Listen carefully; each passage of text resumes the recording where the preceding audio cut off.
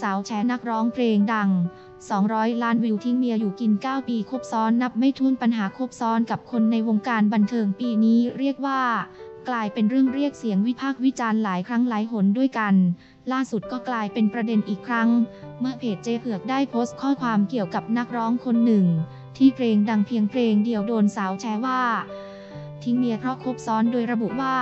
นักร้องไม่หล่อแต่เพลงดังมาก ดังเพลงเดียวถ้าเห็นหน้าไม่มีใครรู้จัก แต่ถ้าได้ยินเพลงทุกคนต้องร้อง อ๋อ พอเริ่มมีงาน มีชื่อเสียงก็ทำตัวเสเพคบซ้อน มีกิ๊กทิ้งเมียที่อยู่กินกันมาถึง 9 ปีได้ลงคอเรื่องคบซ้อนเมียจับได้เป็น 10 ครั้ง แต่เมียก็ให้อภัยทุกครั้ง เมียนางร้องให้บ่อยมากเพราะรักผัวใหม่จึงยอมทนมาโดยตลอดโดยพบว่า มีการแชร์ข้อความจากสาวคนหนึ่งที่ถูกระบุว่า